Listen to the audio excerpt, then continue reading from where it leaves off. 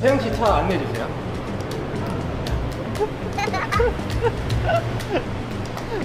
안대를 벗어주시고요. 네? 벗어요?